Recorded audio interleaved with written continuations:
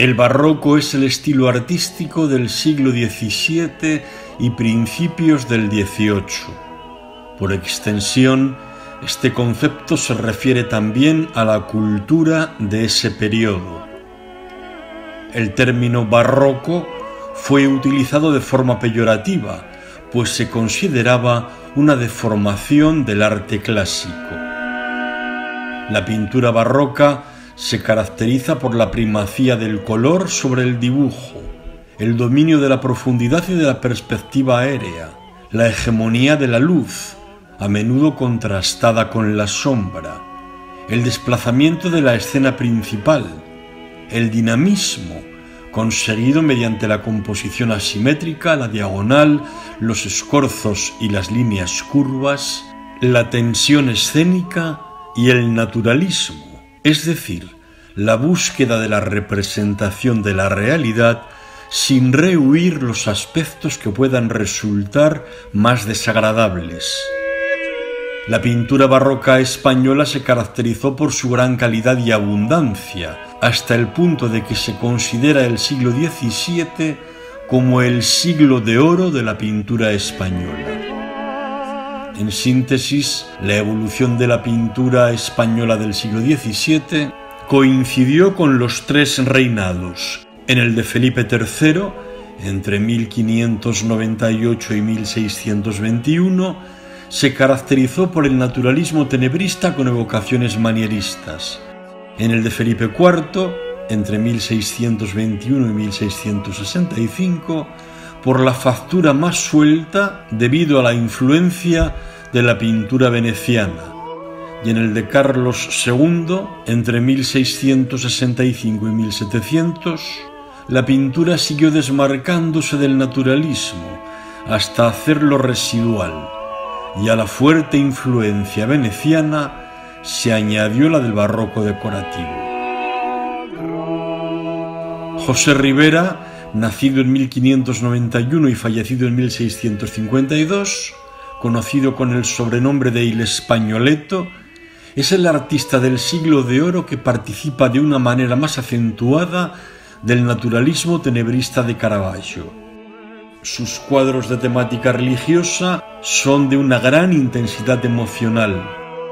En el estilo de Rivera se combinan la emotividad, la fuerza plástica y la carga de profundidad religiosa y misticismo propios de la escuela española y del tenebrismo tomado directamente de Caravaggio, sobre un sustrato del magisterio cinquecentista y manierista italiano.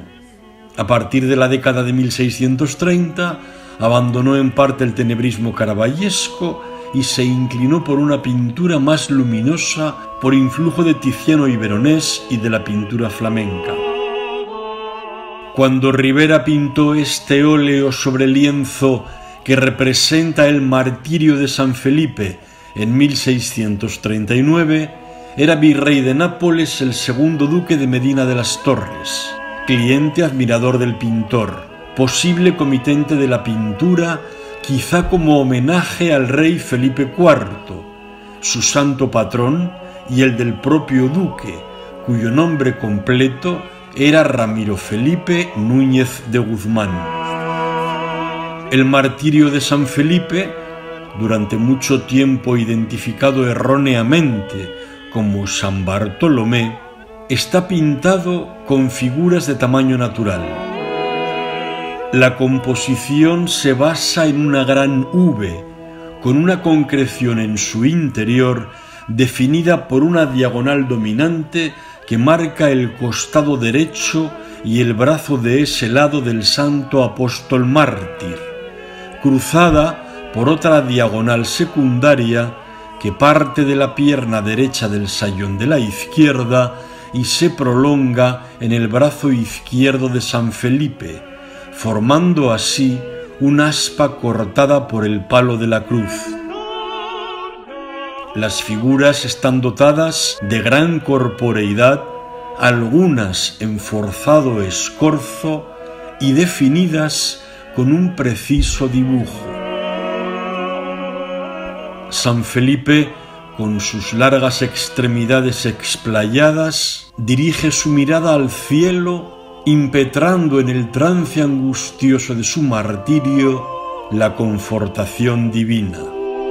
San Felipe es un hombre de mediana edad y fuerte complexión, según se aprecia en su cuerpo desnudo, circunstancia que se aprovecha para mostrar un pormenorizado estudio anatómico de la figura. El gesto postural marca la caja torácica y rehunde el abdomen. Es probable que para la pintura de San Felipe Rivera se valiera como modelo de algún estibador del puerto de Nápoles, ciudad en la que se había establecido el artista en 1616 y donde vivió hasta su muerte. Las facciones ordinarias del santo el rostro curtido, el pelo y el bigote cortos denotan la condición humilde del mártir, muy acorde en la línea del naturalismo que quiere transmitir la idea de que todos los fieles pueden aspirar a la santidad. El naturalismo tiene la ventaja de que propicia el acercamiento del fiel al comprobar que personajes sagrados que lograron la santidad eran personas normales y corrientes, como el propio devoto que entraba en los templos y contemplaba estas obras pictóricas. Pero como contrapartida, el naturalismo también tiene el inconveniente de que la vulgaridad de los tipos representados dé la impresión de cierta desacralización, de parecer irrespetuosa e irreverente.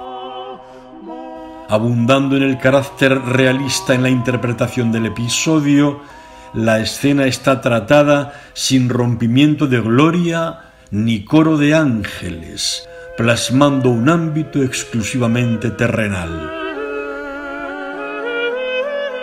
El momento del martirio está tratado con un gran efecto teatral, contrastando la apacible resignación del santo con el vigoroso esfuerzo físico de los dos sayones que tiran de las cuerdas para levantar el travesaño de la cruz al que está atado San Felipe a lo largo del poste vertical clavado en el suelo.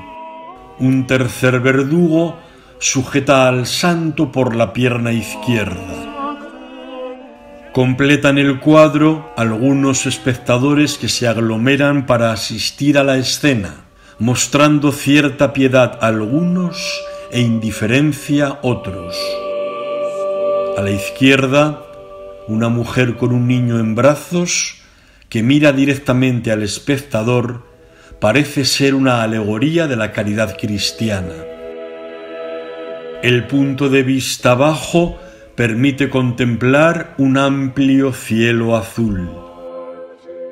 Las columnas clásicas de la derecha, truncadas, representarían el paganismo, en contraposición al palo vertical al que va a ser subido el mártir, que simboliza la eternidad y el disfrute de la gloria celestial a la que se llega siendo fiel a la palabra de Dios incluso hasta el martirio.